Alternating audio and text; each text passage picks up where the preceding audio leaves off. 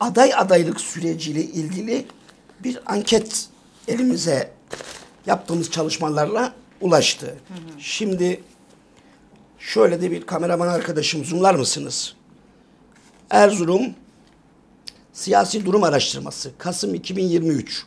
Evet. Şimdi bu anketi genel merkez yapmamış. İşin ilginç tarafı bu. Bu anketi Parti yapmıyor burada. parti yapmamış.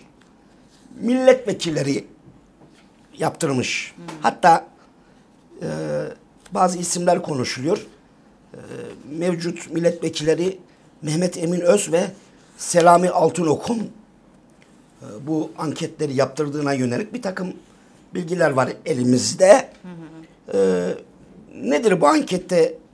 Ha bu arada anketin bir anket külfetli bir iştir Tabii ki. e, parasını nereden alıp yaptırmışlar derseniz Erzurum'da iki tane merkez ilçe belediyemiz var şu an hali hazırda.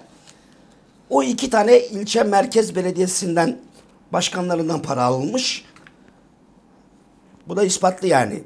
Bilgimiz, e, paranın ne şekilde alındığı, nereye gönderildiğini, kime gönderildiğini hepsini biliyoruz. Yani yalanlamaya kalkmasınlar, mahcup olurlar. Bu belediye başkanlarından bu para alınmış. Ve bu anket yapılmış. Neye yapılmış biliyor musunuz? Mevcut belediye başkanı Mehmet Sekmen'in şehirden gönderilmesine yönelik yapılmış. Şimdi Kendi adaylarını belirlemek üzere. tabii şimdi bakın anket yaptırıyorlar. Ben size söyleyeyim. En basitinden. Erzurum Büyükşehir Belediye Başkanı Mehmet Sekmen'in belediye başkanı olarak gösterdiği performansı nasıl buluyorsunuz? Şimdi ben Erzurumluyum.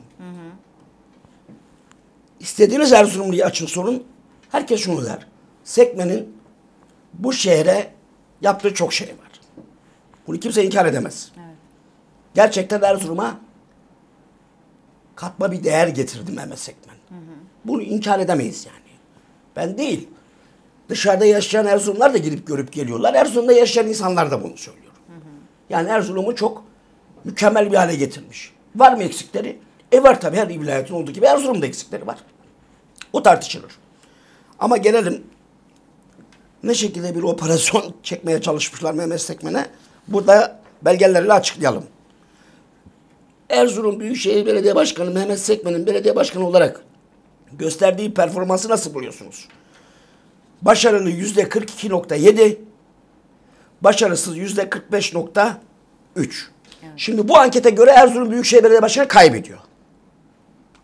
Mehmet Sekmen. Çünkü yeniden aday gösterildi.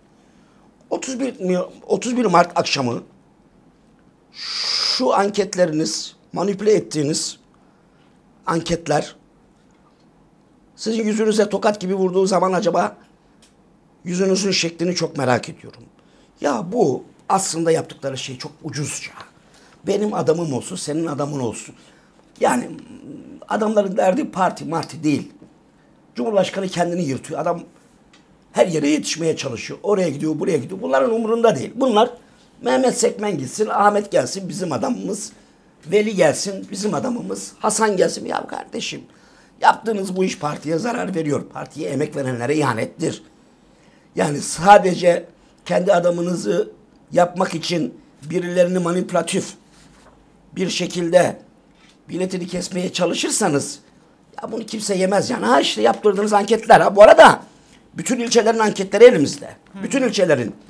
He, yani öyle güzel bir dizayn etmişler ki kime nerede e, yapılmış kimi istiyorlar o kadar güzelce bir kurgu yapmışlar ki işte parayı vermişler yaptırmışlar.